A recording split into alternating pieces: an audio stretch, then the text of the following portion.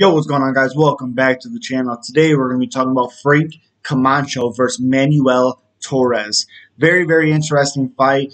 Uh, Frank Camacho, the crank, he's 1 in 4 in his last five fights. He's a plus 130 underdog, 32 years old.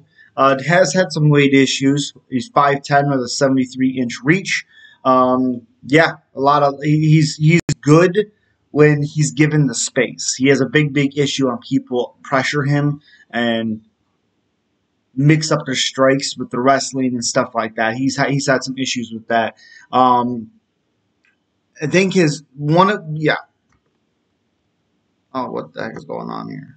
Yeah, Manuel Torres, 12 wins, 2 losses, 4 in 1 in his last 5 fights. His one loss is to Carlos Calvo Calvo. He was a submission 2 years ago and he's submission, submission, Dana White's Contender Series KO strikes. Again, 12 wins, 2 losses.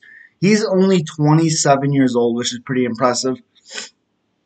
He had 14 fights already. 5'10 with a 73 and a half inch reach. So a thing that makes this fight very interesting. The one win has was Nick Hein by uh, Frank Camacho hasn't won a fight in two years, and he's only won one in four. Lost the decision to Drew Dober. It was head kick, knockout by Jeff Neal, and then won one against Nick Hein, and then lost to Dariush. Yeah, pretty sure he hurt Dariush in that fight too. Or maybe he did. And then Justin Jaynes, a year, almost two years now, um, finished him really quick. Justin Jaynes isn't even in the UFC anymore. But uh, yeah, had a big, big problem in that fight with him. But yeah, you got to think with losing as much as he has, and for the record that he has in the UFC, which I believe is like one in five, it's it's something bad. One in four. You got to think he's going to come out hard, but he's going to be smart.